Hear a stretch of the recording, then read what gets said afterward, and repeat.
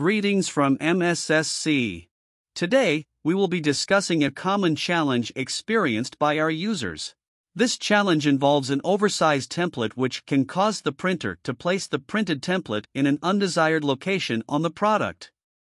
To get started, click on the Design button located in the ribbon at the top left corner of the window. Since we will be using the rulers in this exercise, let's make them easier to read by increasing the zoom level from 200% to 400%.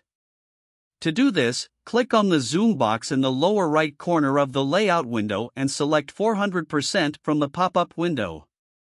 Then, click the check mark to apply the change. This will make reading the ruler much easier. Now we need to move the objects in the template. To move an object in a template, you can either select the object and use the red directional arrows to move it in the desired direction, or select the object and click the Advanced tab. Under the category, Common in the Advanced tab, you will find the X coordinate for horizontal placement, left to right, and the Y coordinate for vertical placement, top to bottom in the design template.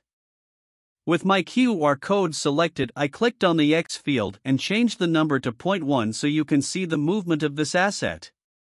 Once all the objects have been moved to the left side of the template, you can reduce the size of the template to eliminate unused space. To do this, use the ruler at the top to determine the length that needs to be trimmed from your template. In this example, we will reduce the template width to 4.8 centimeters. Click on the New slash Edit Document icon in the ribbon at the top left corner and edit the template width field by clicking on the plus or minus icons, or entering the desired width in the number field below. When finished, click the Enter button or check mark to apply the change. Confirm your measurement of the template width and click Edit to crop the template to the correct size. Finally, save your template by clicking on the disk icon and confirming with the OK button on the pop up window. Return to the home screen by clicking the red house icon in the top right corner. Notice how the white template now matches the actual space needed to display all the objects, making it easier to place the print where it needs to go on your product. That concludes this tech short.